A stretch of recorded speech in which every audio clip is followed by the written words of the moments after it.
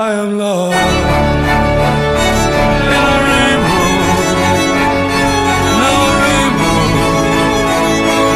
rainbow. Watch our new Billionaire drama episode.